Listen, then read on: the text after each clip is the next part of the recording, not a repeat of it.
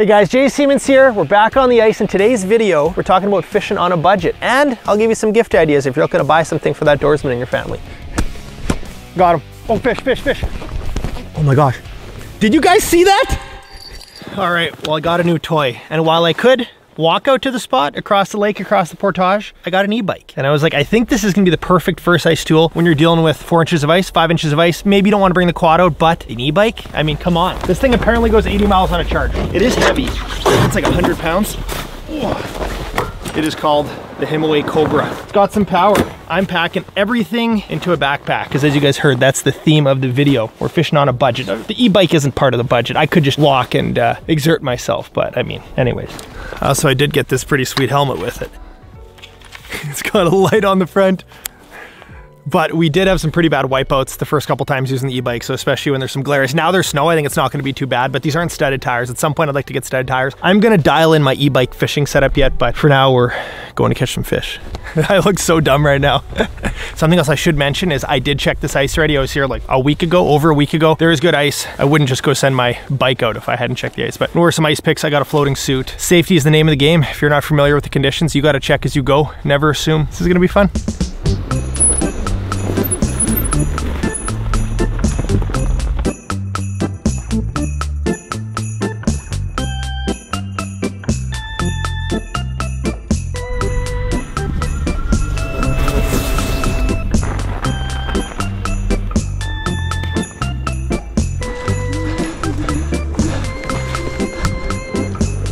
Momentum.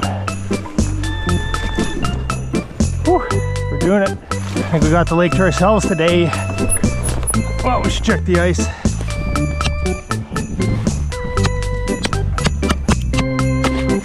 Wow, yeah, probably six, seven, eight inches of ice. Could have driven a quad on this.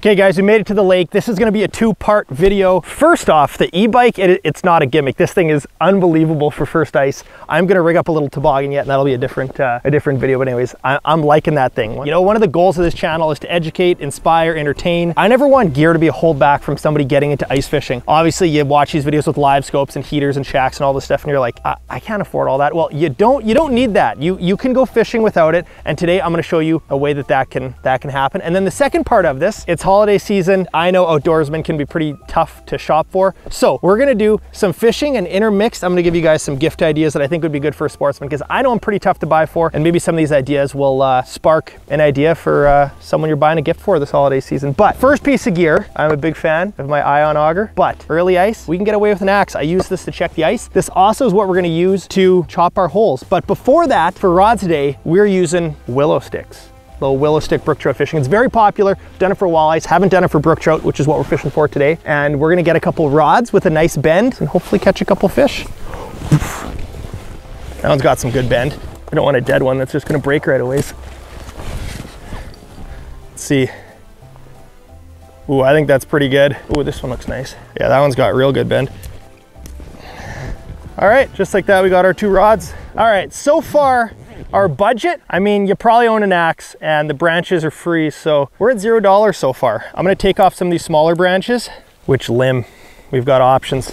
There's rod number one. I would say it's probably a 42 inch uh, medium. This one, yeah, maybe a 39 inch uh, medium, moderate bend to it. We are gonna start pulling out some of the other gear. And this is where gift idea number one comes out. I'm gonna kind of intermingle these throughout our fishing. These are bags by Daiwa. Basically, it's a heavy duty Ziploc bag. I use them for my GoPro batteries. This is the smaller size. They got medium, they got large. And just for all those loose ends, so I got, you know, trout dough, I got extra ice picks, I got split shots, all sorts of goodies. These are, you know, 10, 20 bucks. You can't really have too many of them because I'm always finding ways to just put all those odds and ends together, whether it be camera gear or fishing gear. So first thing we're gonna do is we're gonna get some fluoro. I got some eight pound Daiwa fluoro here. We're gonna tie it on. I'm assuming we're gonna be pretty shallow, but I will allow to have extra line in case if all of a sudden that fish uh, wants to go for a run. I'm gonna tie it near the top of the stick here, but then we kind of want a safety as well. Any extra line will kind of wrap around the base of the stick. You might be a couple bucks in for some fluoro. These are the hooks I'm using. Gamakatsu Octopus size six. This is a the stock trout hook that I use. Size six can handle a huge fish. You can still catch a small fish on it. I got a couple different things. I got some minnows. I got these little fake egg type things. I got some roe. We'll probably start with maybe a little roe. I'm gonna put a split shot on. Water gremlin. Little lead split shot just to crimp on a weight. There's a setup, little trout eggs and then a split shot there. Now I gotta chop a hole, I guess.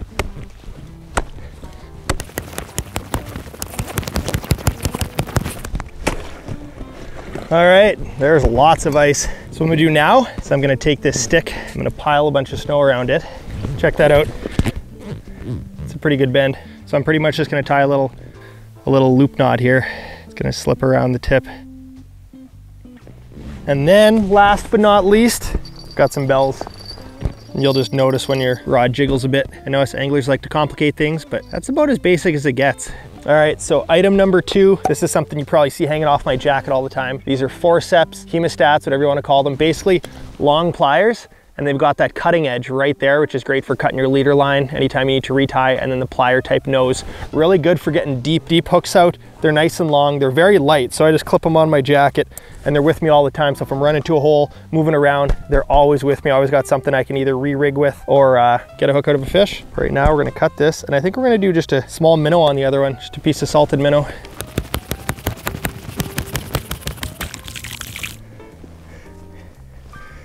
So as mentioned, today we are fishing for brook trout, also known as speckled trout. Often you're fishing for them pretty shallow. And I think people don't realize how spooky they can be. You see it on electronics all the time, but you'll be walking or you'll kneel down when there's a trout around, they'll go and just take off. I've heard some people will even set their dead sticks and they'll go onto shore, which is something we might do yet. Yeah, I, I, really do think fish can feel you on the ice and sometimes it takes a little bit once you settle down to get your first couple fish cruising through because these, these stock trout just, they don't really sit still. They're always moving. They won't want to come by if you're noisy. So we got the bells behind us. This one, no bells. I will probably start jigging actively yet. Oh. I got some funny looks at the landing on my e-bike. Oh, the fish? I think I'm getting bites. Got him. I got him. We got a brookie. No, I lost him. Oh, I lost him. Oh, that's a good sign. Oh, fish, fish, fish. Oh, that's a nice brook trout. The old willow stick express. Use those forceps I was talking about. All right, there we go. Beautiful little backcountry speckled trout, brook trout. Bye, buddy. We're gonna get rebaited. We're on the board. All right, so next piece of gear for the Christmas list. This one's a little pricier, and I've mentioned this one before on my, uh, you know, gift idea videos. I think for how much money we spend on gear, I think there's not enough money spent on the safety side of things. This is kind of two different parts, but if you're looking for an open water type gift, that would be an inflatable life jacket. I think people complain about, you know, the old style bulky life jackets, and I, I get it, but an inflatable one, 200, 300 bucks. I, I wear the Onyx brand, but they're all good. They got the little CO2 cartridge. You forget you're wearing it, and it's just something to get into a habit of all the time. The other safety piece, this is more on the ice fishing side of things. This is a Garmin InReach Mini. I think there might be a Mini 2 out now. Basically, this thing connects to my phone. You don't need your phone for it, but it's like a sender receiver via satellite of messages. So you don't need cell service and you can send messages. I can send my coordinates. And then as well, it's got this little SOS button in the side. And if something really bad happened, I could press that button and they would send in, uh, send in the troops. I got a fish. Oh, I lost him. Oh, I just saw the rod jiggling as I was talking. This is good action. I need to get the other one set back up. I heard bells. Might have just been a wind though. No, that's a fish.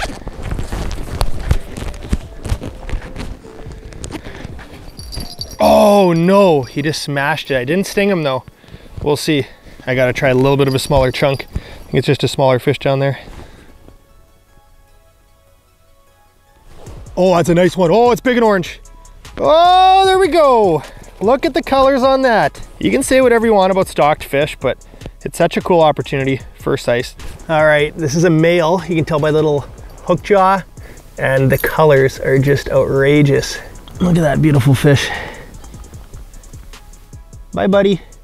Wow, that's like a foot of water. Well, we caught a couple fish. It's been really good action. But anyways, next gift idea, and this is one that I forgot today that kills me, and it's just as important ice fishing, maybe more important ice fishing than open water, is a pair of shades. You know, you can buy a $20 pair of shades, you can buy a $200 pair of shades. I really like Costas. I'm wearing shades pretty much every day if I don't forget them. You know, when you buy higher end shades, you are getting just better optical clarity, better polarization. Polarization meaning it's cutting that glare, which is really nice when you're, you know, sight fishing, looking for stuff in the boat in the summertime, cutting any sort of glare that might be the issue. But you can actually fry your eyeballs ice fishing. So it's something I've done that I would not recommend. So, you know, regardless if you go and buy a nice pair or not, everyone should have a pair of polarized shades.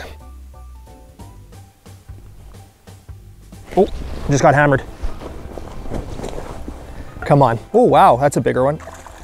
Never mind, same size. These fish seem to have some interesting dots on them, some sort of parasite, but uh, there we have backcountry brook trout. Not big, but uh, they put a, put a bend in the old willow stick, if you know what I mean. Oh, another one. This is good action. Oh, I just lost him. One more, one more, and then we're gonna start jigging. Did he just bite it? Yeah, instant, instant. We got a brook trout. Oh, whoa, whoa, whoa. Oh, this is fun. And there's another nice little dotted beauty. Cool, all right. Well, I think we're gonna try the little, little dinner bell with how they're eating. We're switching to a more active bait. Come on, first drop. Gotta thread that line on. Got him. Look at this. Look at this. It's the first drop.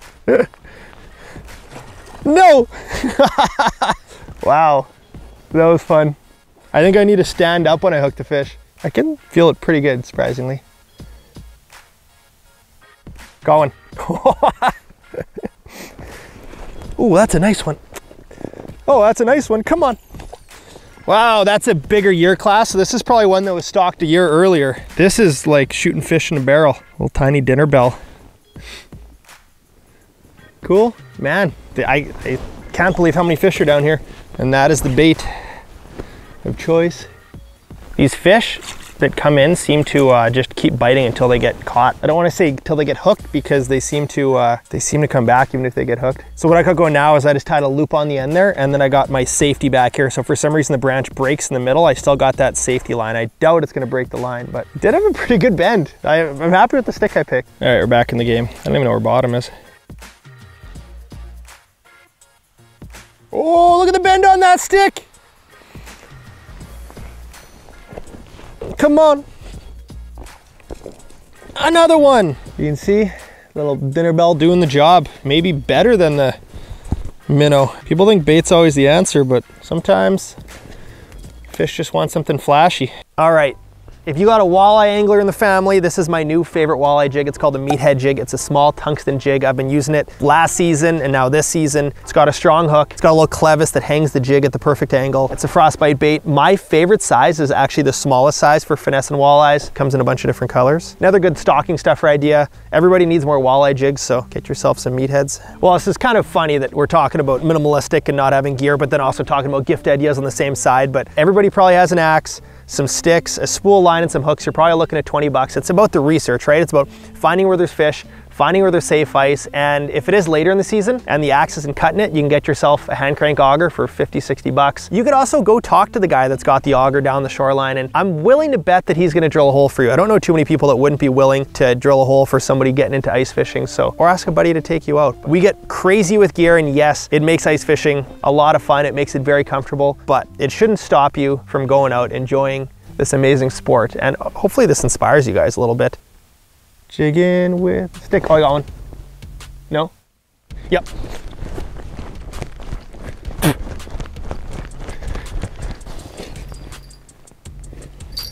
Oh, I just saw him eat the minnow under the ice. This is wild. Come on, come on, come on. The minnow fell off the hook and the brookie just ate it under the ice.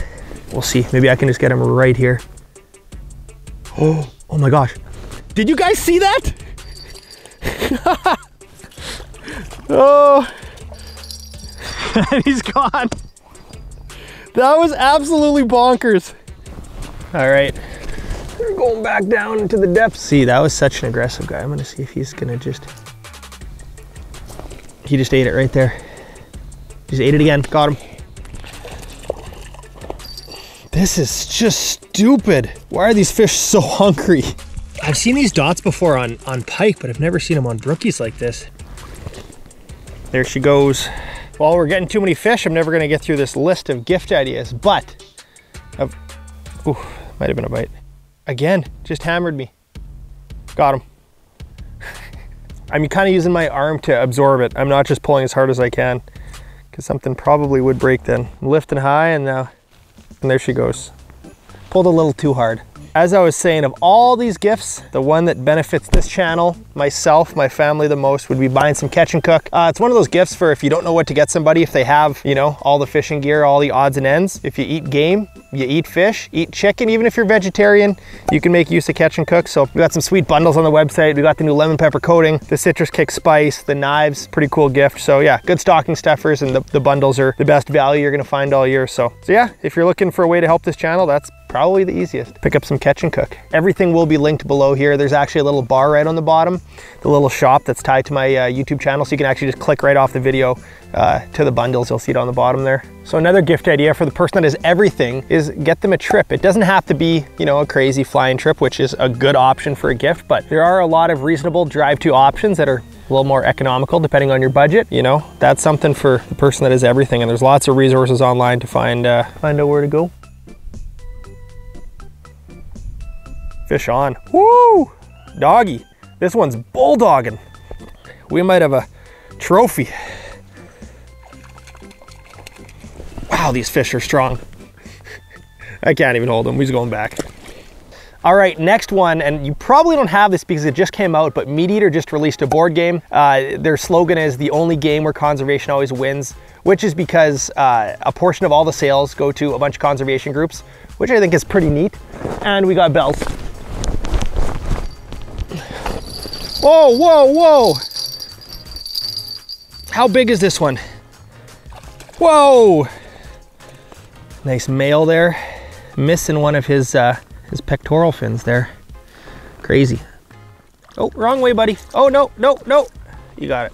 That one almost took the rod in. Sorry, as I was saying, MeatEater board game, um, it's a trivia based game, be great for the cottage. Pretty challenging from some of the questions I looked at, so definitely something I'm excited to play, bring it down Uncle Mark's Outpost. It's a very cool game, very cool. It gives back to conservation as well, and something that's brand new, so probably you don't have it yet. All right, next piece of gear. I've been using this for two, I, th I think three years now. It's called the Ice Defense. It's this blue mechanism. It sits in my hole. You might have seen in some past videos. You hook it up to a, a battery. I use my Dakota Lithium power box for that. And basically it circulates the water in your hole. It's a little bubbler system. It solves the problem of uh, your hole freezing up. So, you know, in the hole you're jigging in, it's important. I find the most value in it. Putting in my tip up holes, I put the ice defense in there and I kind of set it and forget it. In the past, if it's been colder outside, you got to go chisel your hole free every little bit and make sure the line's good. But now I set up that bubbler, it'll run all day, keeps your hole clear and your tip up working. So pretty cool device. All right, next gift idea. This is kind of in conjunction with that ice defense. I was talking about the power box I hook it up to. The Dakota Lithium power box. There's different sizes. In, this case, I'm probably recommending the smaller power box just because I think it has a ton of uses. I use it for charging my phone, uh, for giving me extended runtime on my Aqua-Vus, the ice defense, GoPros, all that stuff. It, it comes with the 10 amp hour, 12 volt Dakota Lithium, and then it's got that little hard shell that has the USB ports, lights on the side. It's just a very useful piece of gear. Keep it in my truck all the time, and uh, there's always a use for it. Well, the fishing slowed down, so we're gonna keep running through the ideas. Next one is a cell booster. There's different versions of them. The cell booster that I've had in my truck is one that actually sends out the signal throughout your truck. So it's got one little puck that sends it in like a three to five foot radius and you have antenna that goes on top of the truck. If you're a hunter, angler, you're going down some back roads, you're getting out of cell reception. There are times where I'd be getting between zero and one bar of service. I added the cell booster and I was getting three to four bars everywhere. It has made a big difference for when I'm trying to do, you know, business calls on the road or just call Sam to letting her know I'm okay. Having that cell booster is such a nice thing and I can't imagine not having it. All right, one more idea. It would be mapping. Get somebody, you know, it could be paper maps, it could be a gift certificate for some digital maps, LakeMaster, Angler's Edge mapping. If you know somebody fishes a lake lots, or the physical maps tool, you can, too, you can get some cool Angler's Edge physical maps that someone can hang on their wall if it's their home lake or their favorite lake. Yeah, something different. I know that as anglers, we're always caught up in rods and reels and lures, which are all good things to have, but mapping is very important, as I mentioned, to do your research, to go scouting before you fish. And if you're really on a budget, just go find somebody some nice sticks. These are good. Okay, I thought I was done with the gift idea, but seriously, this bike called the Himiway Cobra, I'll bring it by. I wasn't planning it to be one of the gift ideas, but these have gained so much popularity in the hunting world in the last couple years. Yeah, I mean, there isn't like season long functionality for ice fishing really because you're probably going to be using a snowmobile or an ATV but man for getting into your hunting spot quietly or for you know ice fishing pulling a little bit of gear I, once I have the toboggan rigged up this is gonna be a sweet setup but for today it was fun nothing against some uh, physical fitness but when you're going on a long trek I think the battery's right in here and I think it gives you like, I think they said 80 miles on a charge. So you don't have to pedal at all. You can just press the throttle. It'll drive you. If you pedal, it assists it. But uh, it's fun. It's a fun toy and uh, something I'm gonna use for some more ice fishing trips this winter for sure.